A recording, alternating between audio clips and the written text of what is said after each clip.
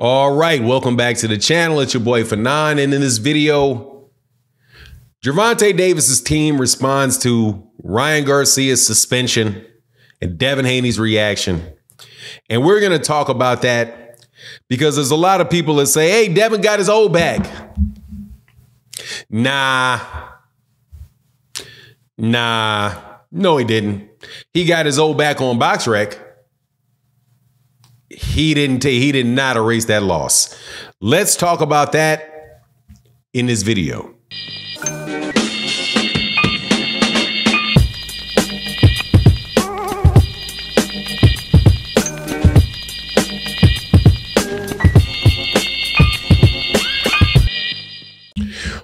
Right, welcome back to the channel. It's your boy Fannon, and in this video, I will without a doubt be getting called a hater by Devin Haney fans, and I am more than willing to live with it.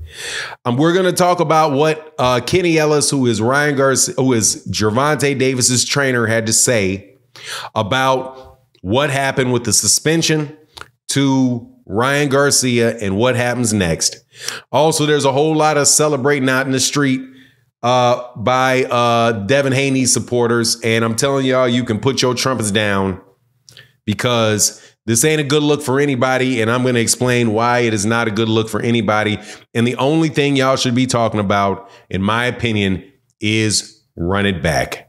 Now, before I get into the details, let me welcome you back to the channel. If you are new to the channel, please accept my invitation to hit the subscribe button, hit the bell icon so you can be notified of when we release more videos. And if you're a longtime subscriber and supporter of the channel, Thank you so much for your continued support. It really makes a big difference. If you got any problems in your life, struggles in your life, man, you're going to get through it pick up a boxing match on YouTube, watch it, and watch somebody, watch two dudes beat each other up and be amazed by it and get a couple seconds of reprieve from your problems. That's one of the reasons why there's boxing out there in the world. So shout out to all the subscribers that send me notes and we chop it up back and forth about what's going on in the real, real, real, real world.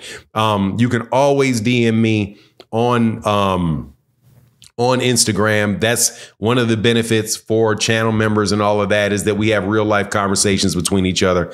And even if you're not, if you just somebody that comes by on a regular basis and we get to know each other. But anyway, just wanted to say that, man, because there's a lot of people that send me notes and I do not mind at all answering the, answering your question and talking to you about that stuff. But let's get into this. Um, Devin Haney got beat up by Ryan Garcia. That's a fact. It's not going to go away. Devin Haney had his O given back to him. So he is no longer, he no longer has a loss on his record. He has a no contest on his record, but he does not have a loss on his record. Ryan Garcia has one loss on his record. He no longer has 25 wins. He now, I do believe he has 24 wins, and he has a no contest on his record. So, the outcome of that fight for people that look back on, look at the BoxRecs years later, right? 10 years later, 15 years later, we'll see a fight that says Devin Haney versus Ryan Garcia. No contest. May see an explanation says Ryan Garcia tested positive for this after a fight, da da da da da. Right? Most people, though, that saw the fight are going to remember that Devin got beat up and got dropped three official times, five two more times unofficially, and that he got dominated by Ryan Garcia. Ryan Garcia maintains his innocence. Also, there's a lot of Ryan Garcia fans that maintain his innocence. I was on Twitter yesterday, and let me get a shout out to a guy out there on, on Twitter. If you watch the video, um, man, I hate that I that I shut it, shut it off. But there's a guy that I talked to on Twitter that I was saying, hey man, Ryan Garcia, you got off light. You need to be happy. And people said, no, no, no, he didn't have anything. He that was an accident and he didn't do it intentionally, and it was such a small amount. And and I'm like, look, man, you got to tell that to the New York State Athletic Commission. The fact of the matter is, the punishment was not very severe for Ryan. Consider all things considered, water under the bridge. You know, pay the ten thousand dollars. Figure out how you're gonna get your money back from Oscar De La Hoya and his forfeiture of money. Well, I'll talk about that on my live stream. The forfeiture of money and the and the that's a loophole you can drive a truck through. And then the uh what was the other one? Oh, you got to have random testing. You got to have random random testing for a year, which people should have to do anyway. So whatever, right? However, they this dude, and much respect to you, um, was very livid about it and felt like that Ryan Garcia was done a disservice. So that's re- and that's and that is if you believe he didn't cheat and you believe that people, you know, if you didn't cheat and it was an accident or somebody set you up or whatever it was, which is what which is what Ryan Garcia still maintains they set him up. Whatever the case is, there's a lot of people that feel that way. So they look at Devin Haney like Devin Haney got whooped. Devin Haney has a lot of people. There's a lot of Devin Haney. There's a lot of people that don't even like Ryan Garcia. They were just happy that Devin Haney got whooped. Just happy that he got whooped. Like, man, hey, man, maybe he cheated, maybe he didn't. Who cares? I just, I saw you get whooped though. So, and then there's people that feel like, hey, man, no, he cheated. Ryan cheated Devin, and Devin, you know, deserved his win back, and now he can move on.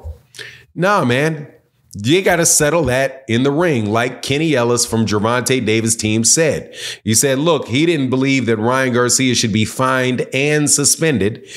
But hey, man, if there was something in there and you did it wrong, hey, serve your suspension or whatever it is. And then you come back in the ring and these guys got to run it back. That's just that simple. And then Devin's got to prove that he's able to beat Ryan.